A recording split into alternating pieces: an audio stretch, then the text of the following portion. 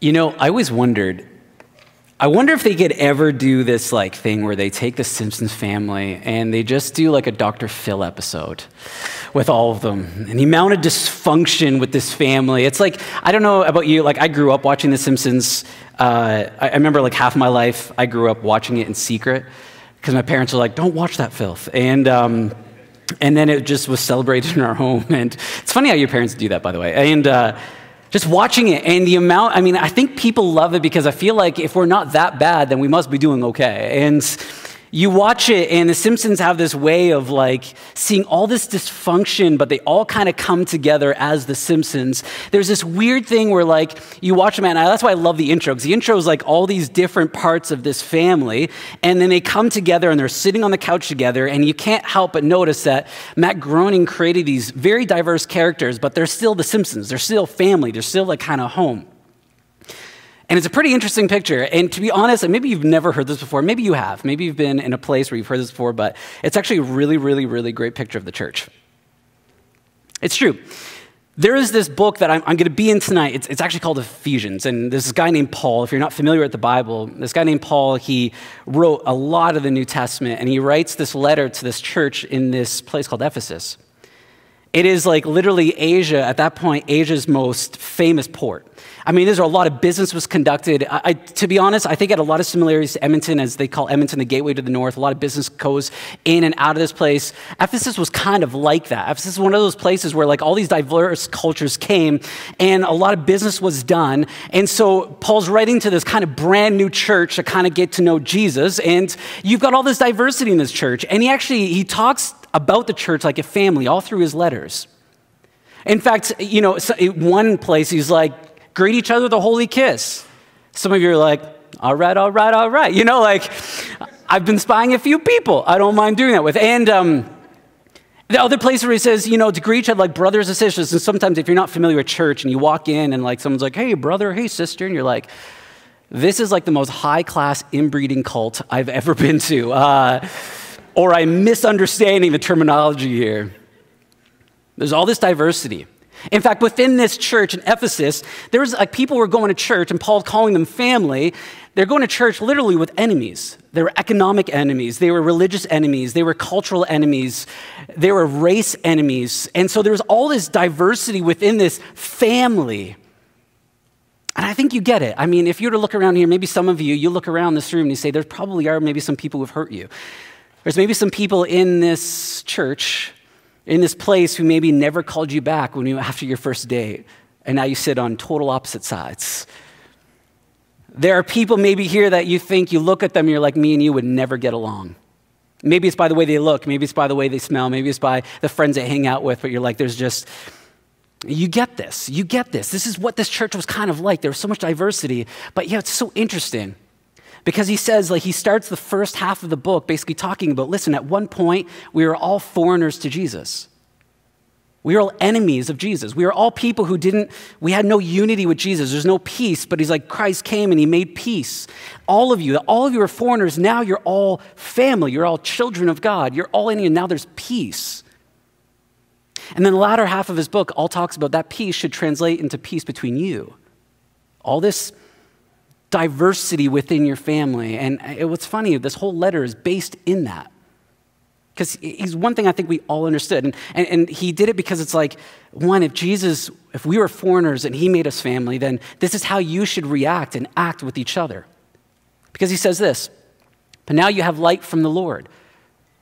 So live as people of light. I mean, if he's made a difference and live people like light. Why? Because for this light within you produces only what is good and right and true. So unity is good, it's right, and it's true. And these are all things I think we love. We want a life that is good, that is right, that is true. We want all those things. So Paul's like, listen, live in unity because it's good, it's right, and it's true.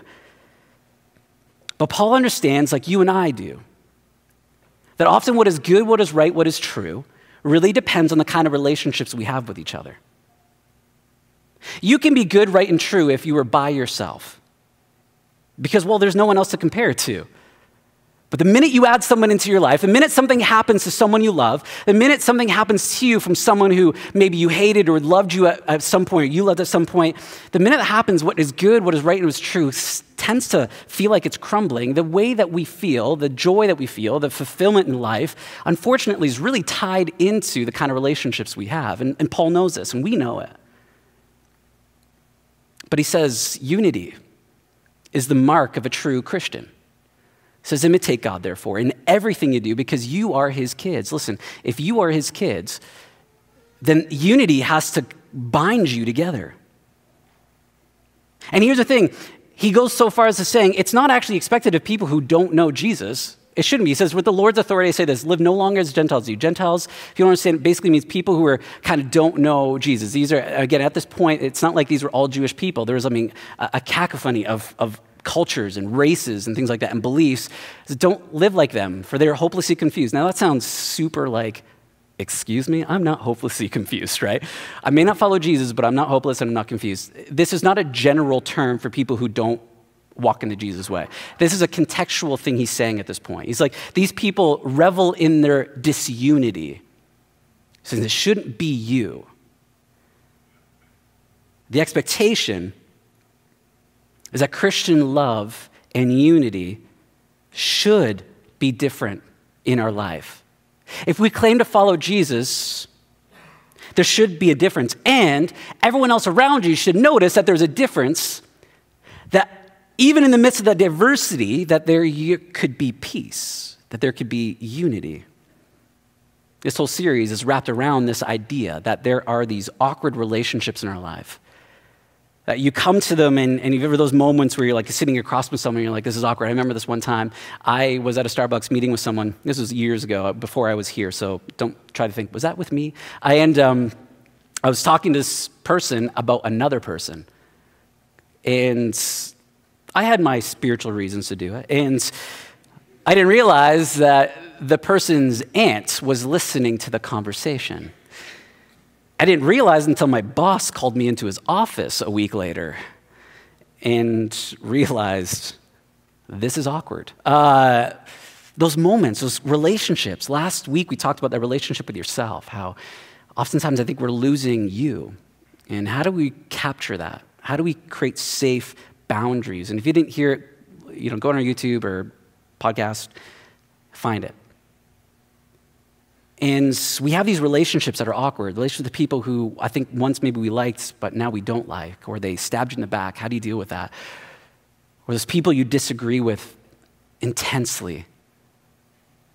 Or tonight, those people who raised you.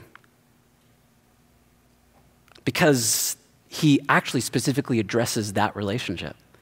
says, Children, obey your parents because you belong to the Lord. Why? Because you're God's kids for this is the right thing to do. And here's the thing he kind of starts this whole section with this. He says, So be careful how you live. Sounds like good advice. Don't live like fools, but like those who are wise. Make the most of every opportunity these evil days. Don't act thoughtlessly, but understand what the Lord wants you to do. It's practical, it's, it's super practical. I mean, Paul goes right into it. It's about living well, it's about the good life, the right life, the true life. And here's the thing, though he says, there's no way out of it. There's no way out of doing this because this is the way that you're supposed to live if you follow Jesus. There should be unity. And then he says, including the complicated relationship you have with your parents. He addresses it. Do you know one of the interesting things that we get at the project when we ask people what you want us to talk about, surveys that we do, one of the top five issues that young adults tell us is that they don't know how to relate to their parents anymore how to deal with those dysfunctions, how to deal with the baggage. And the key theme tonight is this you and I are responsible for how we relate to our parents. Not only do I think it's because it's the Lord's will for your life, but I think even if you don't follow Jesus, because it's good for you. And it's weird because for so long, our parents were the responsible ones, or semi responsible, depends. Maybe some of you didn't grow up with your parents. Maybe you didn't have any parents who were able to be responsible or irresponsible. Maybe you just had guardians. Maybe it was your grandparents. Whoever was raised you. But when we become adults, there's this weird thing that happens where we actually have to pick up the responsibility of figuring out how we relate to them. For at once, it was all about what they did for us, how they related to us, their responsibility to care for us. But now we need to be thinking, what does it look like for us to take responsibility in our relationship with our parents? In fact, many Jewish teachers, a lot of Jewish wisdom said that this is actually the greatest commandment ever given was to obey our parents. But here's the thing it also had a promise attached. He says this hey, obey your parents because you belong to the Lord, for this is the right thing to do. This is the first commandment with a promise. If you honor your father and mother, things will go well for you because they won't kill you. And you will have a long life on earth, again, because they won't kill you. There are promises attached to this. In fact, if you read to like the Ten Commandments in the Old Testament, this is the first one that says there is a promise attached to it that you'll live a long life. This is good for you. But what does it look like? What does it look like maybe if you had good parents, but now the relationship is shifting and changing? Uh, what happens if maybe you didn't have great parents and you didn't really have a relationship? What do you do? What happens if you learned really bad behaviors and patterns? What happened if they hurt you? What happened if they broke you? How do you relate to them? What does that look like? And that's really where I want to go tonight. And there's three things that we need to know. It's because in church I find like it's always three things. I don't know why. It's always three things. And I came up with three things Three things we need to know about our parents, about ourselves, that is going to help us relate really well. Because I think we read this passage like children obey your parents, like, oh, that's for someone who's like under 16. I'm no child, I'm my own man, right? Like, ain't no one tell me what I'm doing. But the idea, it's for us. You didn't be like, hey, children under 18, obey your parents. You didn't say that. There's responsibility, but it, there's a bit of a, a way of understanding this that maybe if you're over 18 would be different from maybe a 12 year old although some of you act like you're 12. But, anyways, uh, beyond the point. I want to notice, though, that when Paul is talking about these relationships, he actually does include the parents. He, because the first thing we need to understand about our parents is this that they're actually human. Weird, right? They're humans. They are human beings. At one point, they were you. And maybe that hasn't hit you home yet with you yet. But if that's you, I need to let you know that they were once you. They were once you, somewhere between 18 and 30, a whole life ahead of them. They probably wanted to make something of themselves. And what I love about this is Paul humanizes them. He addresses them. Why? Because they are humans. They are part of the, the, the, disunity in the church, that there is a relationship that is broken that shouldn't be broken. Why? Because they are also children of God, as you are a child of God. And I'll get this. Paul does immediately address the parents and their responsibility, but they're kind of off the hook tonight. I want to really talk about what Paul says to you, because your parents aren't here. Unless you brought your parent, I'm sorry. if you're a parent here, you're welcome, because this is the only message and be like, are you hearing them? Hmm? Are you hearing them, right? When you're a kid, I think parents typically were looked at a hero. As a teen, they were idiots. As a young, young adult, they had money and you didn't. As you grow up as a young adult, and they had groceries too, which is amazing. Uh, as you grow older, as an older YA, I think you quickly notice that your parents have holes in their lives, that they are not perfect, they don't have it all together, that they made mistakes, that they made mistakes with you, that you're not the mistake, but they made mistakes with you. Now, some of you come to grips with that very early on in your childhood. I know many of your stories are like, no, I knew my parents were screwed up when I was young because of what they did to me.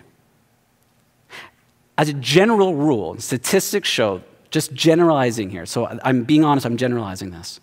It's typically around 22 to 28 you begin realizing that your parents make mistakes.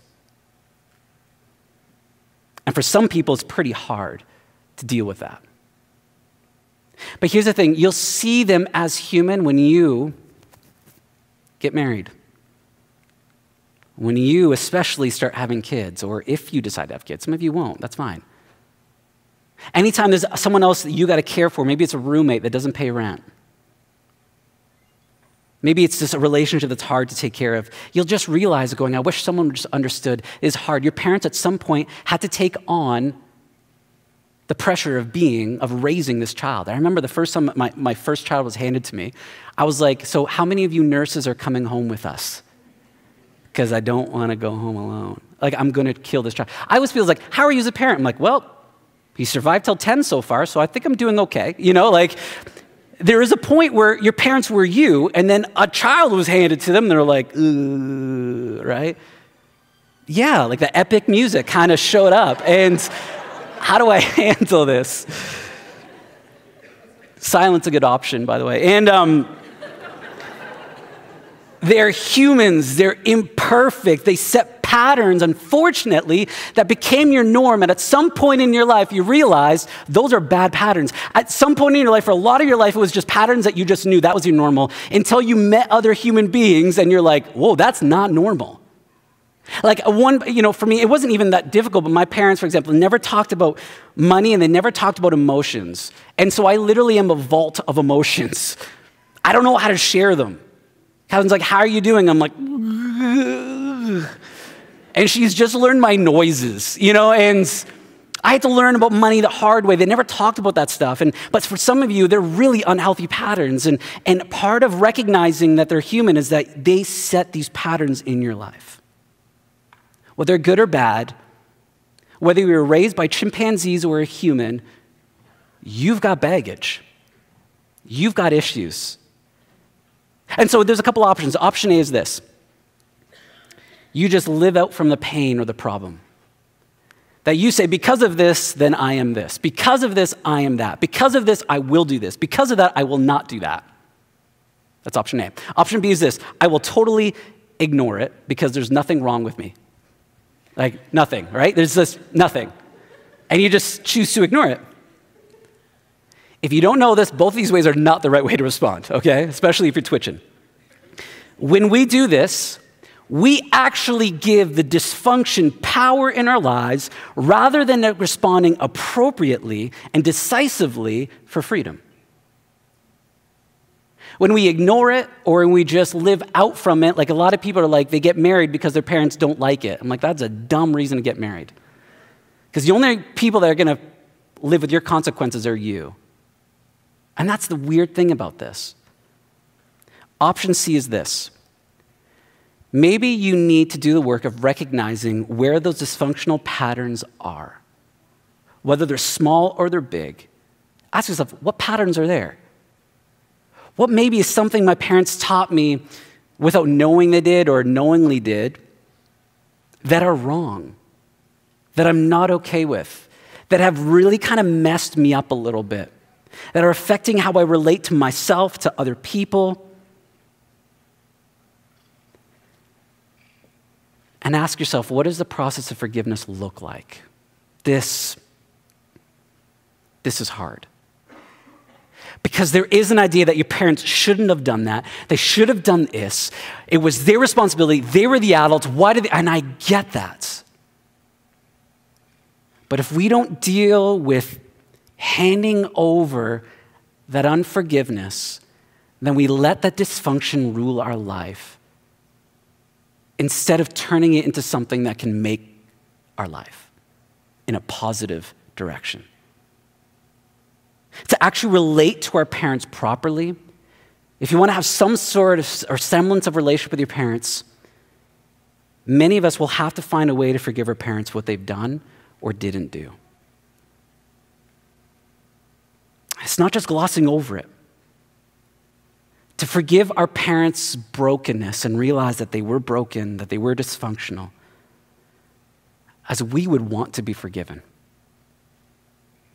How would we want to be forgiven? Would we want someone to base their whole life on what dysfunctional patterns we set for them? Or do we want forgiveness? Paul, he says this. Listen, in Ephesians 4 Get rid of all bitterness, rage, anger, harsh words, slander, as well as all types of evil behavior.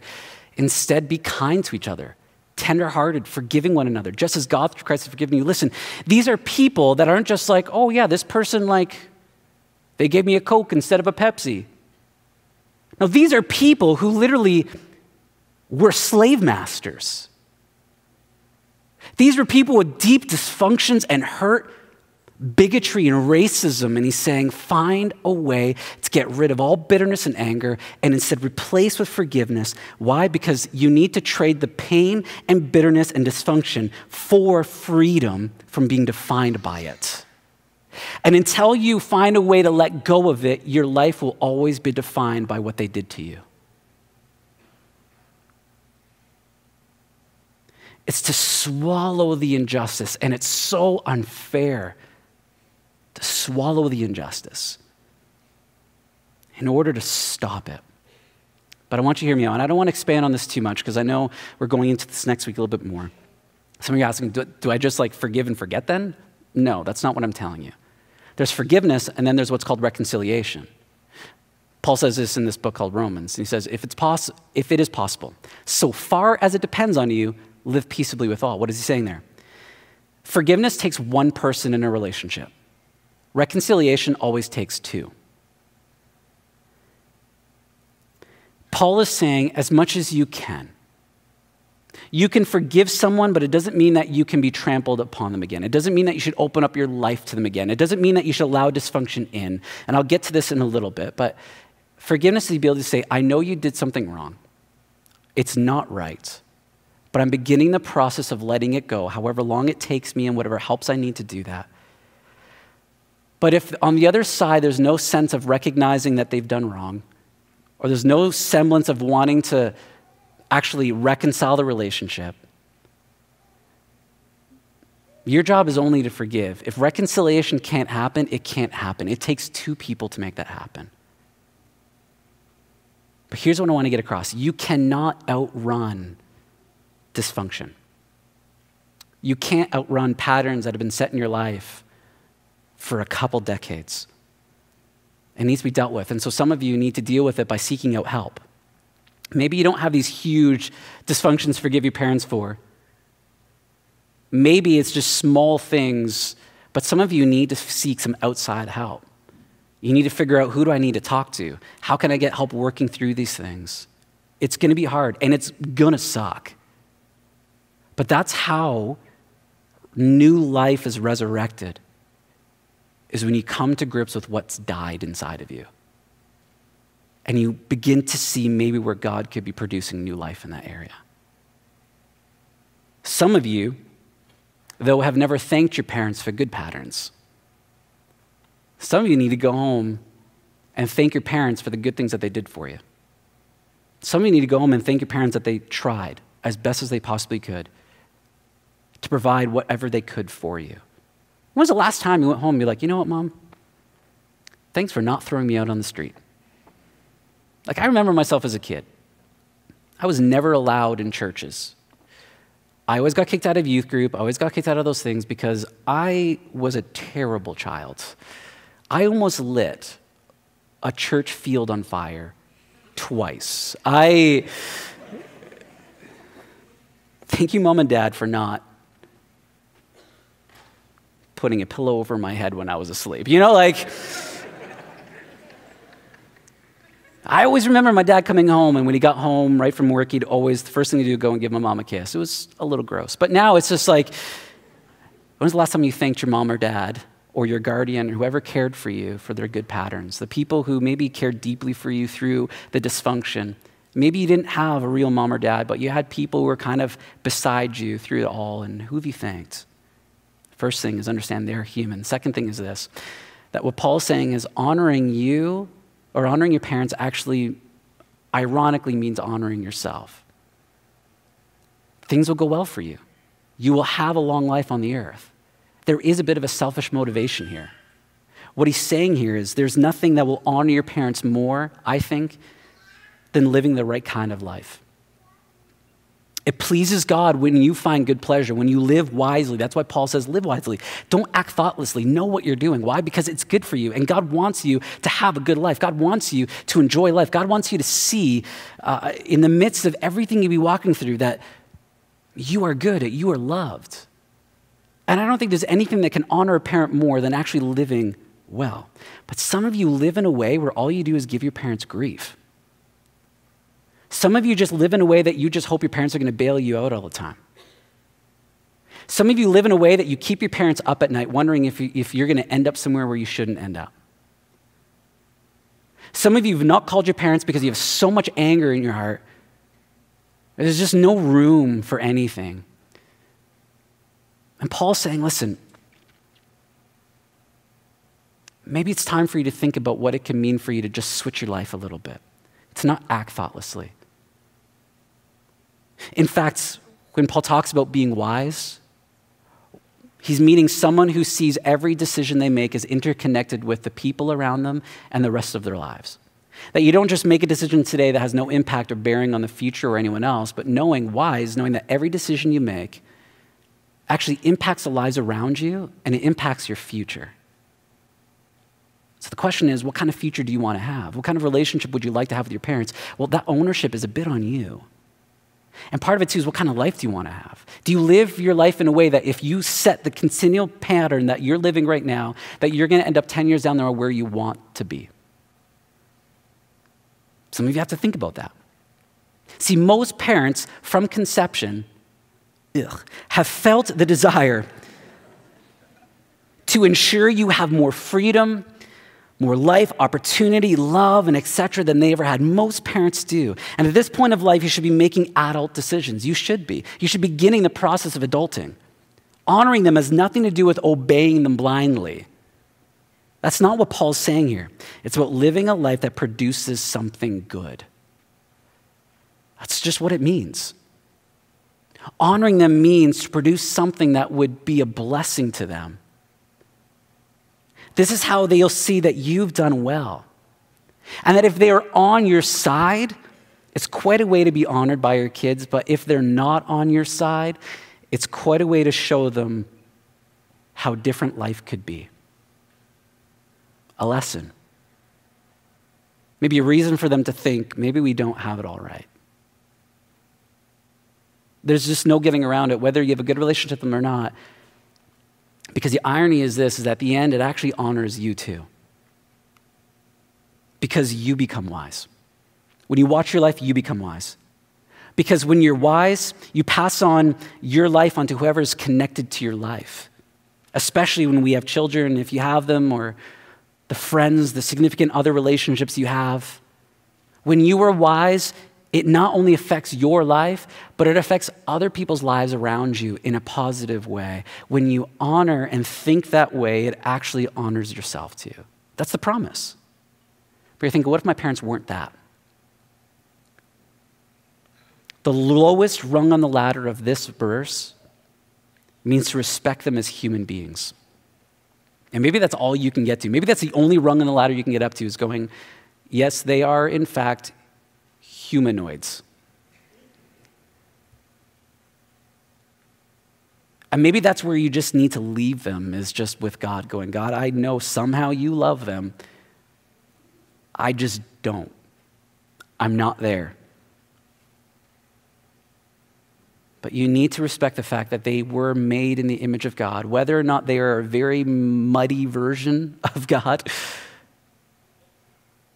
it's a sense where you got to trust that God loves them and sees the pain and hurt more than you ever could. That He sees the whole of their life. And you only have a very limited perspective. And what this means is just to respect them as someone who are made in the image of God. And maybe if you're someone who doesn't subscribe to Christ or the Jesus based life or this teaching, maybe for you it's just you need to respect them that they are human beings And it may be hard to think that way, but that's the challenge. It also means, I love this in the book of James. James is the um, half brother of Jesus. He writes a book in the Bible called James. He has a lack of creativity, but he, he says this about the way we speak. But a tiny spark can set a great forest on fire, and among all the parts of the body, the tongue is a flame of fire. It is a whole world of wickedness corrupting your entire body. It can set your whole life on fire. Where do you start? Be careful what you say. Be careful who you say it to, when you say it, and why you're saying it. Here's the thing about our mouth you may be totally justified in how you feel about your parents, they may be the worst. But you and I have to be careful how we speak about it. But here's what words do they affect your thinking patterns that if you constantly say the same thing about someone, it's funny how you can just keep believing that same thing over and over again. You concrete it. It attracts the same kind of people, so you begin realizing hey, everyone I hang out with hates their parents. That is not awesome, by the way. Because you're insulating the same language, the same feeling, and it reveals what's actually going inside, but actually never heals what's going on inside. That is how your tongue can set your whole life on fire. So maybe what you need to do is be careful what you say like who you say it to, and ask yourself, why am I saying it? Third thing and last thing is this you can no longer be a taker in your relationship with your parents. This is going to hurt, by the way. Of the 4.3 million young adults aged 20 to 29 in 2011, 42%, or 1.8 million, lived with their parents. This compared with 27% in 1981. That number is going up, by the way. Among young adults aged 20 to 24, 59.3 lived in their parental home, higher than the 41.5% who did so in 1981. For 25 to 29 year olds, one quarter lived with their parents in 2011, more than double the 11.3 share in 1981. This is interesting. Young men are more likely to live at home than young women. In 2011, some of you girls like, yeah, I know. Uh, in 2011, 46.7% of men in their 20s lived in their parental home compared to 37.9% of women in this age group. And here's the thing this is, not, this is not a hard thing. There's a lot of reasons for it, and there's a lot of good reasons for this. A lot of you are in school, your debts are higher, it's hard to find a really good job. And I actually think in many situations, it's actually better to live at your parents' home. I'm not saying it's wrong. I'm not saying this is the part that I'm saying is going to suck or going to hurt. No, this is just a reality. A lot of you live at home, but whether you're living at home or not, you are required to take the responsibility of being responsible for yourself. For your own lives, your own decisions. This means taking responsibility for your past.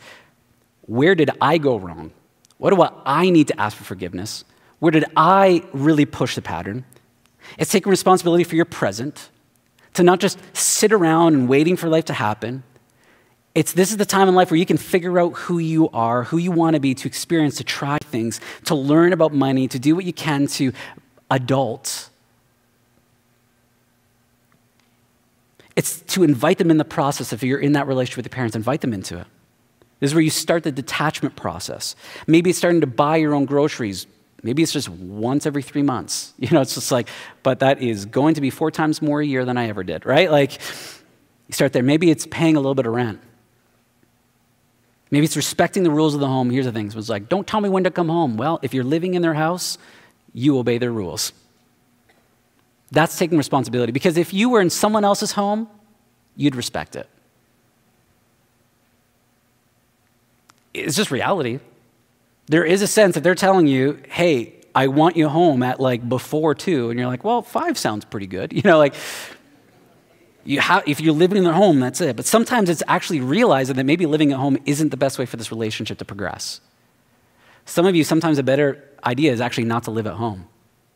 It's to find someplace else. Maybe some of your relationships will only be healed through some distance. And it also means taking responsibility for your future. It's finding a way to become independent. Knowing how to set up healthy boundaries with your parents, and this is super important. Like I said, loving your parents doesn't equate to obeying everything they say. You move from a role of dependency to mutuality. It's adult to adult. But if you're living at home and doing nothing with your life, expecting to be treated like an adult, that's your problem, not theirs. If you want to have an adult to adult relationship, it means trying to become an adult to make those decisions, to make wise decisions. And I think most of you are there. But you can't expect something that you have not, I'd say, inspect. So if there's if there's healthy patterns in your parents' lives that are affecting you, it means being okay with setting up boundaries and going, I will engage you when you're functional, but not when you're dysfunctional. That's done with grace. It's done with a lot of prayer, with a lot of wisdom and some advice. But some of you need to set up boundaries with your parents because it's just on the other pattern. Sometimes they get way too involved. Sometimes you can't find that, that distance. This is part of it, is setting up those boundaries. You may have to disagree with your parents. You may have to, in fact, disobey them. Even if sometimes it's not the best thing for you, part of adulting is trying things out and trying to make those decisions and owning up to mistakes you've made. And sometimes it's them owning mistakes that they've made. There's a part of this adulting which requires you to sometimes not do what they want you to do because you feel like, honestly, that's the best thing for you to do. You need to hear their advice, but it doesn't mean you need to follow it. You have to own your decisions. You may have to set up boundaries on what they control, on what they say and how they say it. Tell them that you are making decisions as an adult. That's part of it. And sometimes it won't be understanding there. But I always say this oftentimes the fruit of our lives only come out over a period of time. And sometimes it's even hard for our parents to know that and think that. Sometimes it's hard for them to think what they were like at 20. And sometimes you just got to make those decisions, set up those boundaries. I know that's there. That takes some work, that takes some time, and you're probably going to screw up a few times. But you got to do that. Can I encourage you? Sometimes the first step is actually, to change is actually giving something.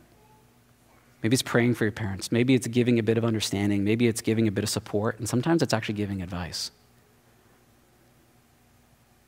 Sometimes it means those things. That sometimes that's what mutuality means. And I think that's actually you can do that in a very honoring way. Mom and dad, I care about you. I've noticed this. You're not giving me enough money every month. You know, like, uh, that was a joke, by the way. Um, but I want to end giving you a few ideas, a few questions. I want to encourage you if you have enough of a relationship with your parents or whoever raised you or attempted to, the few questions I want to leave you with, and I'm going to put these questions up on our Instagram, but there's a couple good ones. I want you to ask yourself this Who's had the greatest impact on your life? Then I want you to ask your parents, as a kid, what did you want to be when you grew up? What do you still dream of? What do you still dream of doing? Ask yourself, to what degree am I responsible for the course of my life has taken? And ask your parents, what is something when looking back on your life you regret? Why? Ask yourself, looking back, is there anything you need to ask forgiveness for from your parents? Ask your parents, what is something you wish I did more of? Is there something you wish I did less of? That'll be tough. But hear them out. Ask yourself, what has been life giving? What has been life draining? Ask your parents, how would your parents have described you? In all of this, it's about finding a way of seeing your, pers- your parents' personhood Part of this is honoring them so that you know that in the end you're honoring yourself. You can no longer be taker, but more than anything, because what Paul says, this is good for you. This is what it means to try to find, even among diversity, some peace and some unity. What are the greatest lessons you've learned in life today? Ask yourself and ask your parents, what are the greatest lessons you've learned in life today? Again, I'll put these all up on Instagram.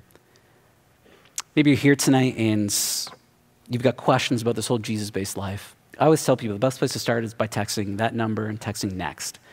Send you a little booklet. It, there, there's no commitment to it. It's just like finding out what this Jesus based life looks like. And I love Jesus says, Come follow me. He doesn't say, Come believe me right now. He says, Come follow me. Come watch me. Come listen to my life and my words. That's what this means.